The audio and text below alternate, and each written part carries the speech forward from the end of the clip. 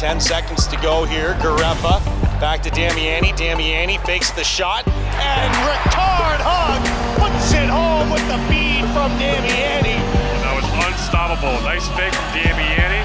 Gets the defenders down to an E, and that allows Hugg to square up and just blast it on the one-timer past Popovich. Yantsis gets it to the point. Sauced over to Rickard Hugg. Hugg gets it back to Garreffa. The shot gets through. Yantsis, goal number 50, bats it in.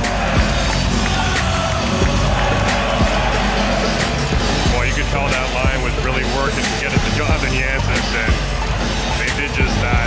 One number from 93 this season, a memorable campaign for him. Pops it back again, and the Rangers hit the line. Here's Meireles. Great move by Meireles to score!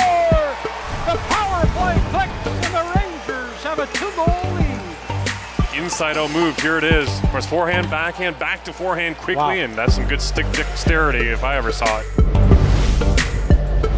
By the defender to break that up. Rangers control. Garreffa to Damiani. And oh my, Garreffa, nice fake, sets it up for the one-timer, and bang, top corner again. And Damiani just picking his spots right now, too. This is impressive. Tees it up, and Rostov just shrugs his shoulder. No chance to stop that one. But he got a hold of both earlier on. Boy, that was a howitzer.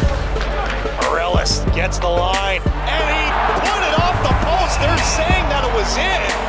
That is a dipsy doodles around the defenseman. They get crossed up. Oh, yeah. And in it goes.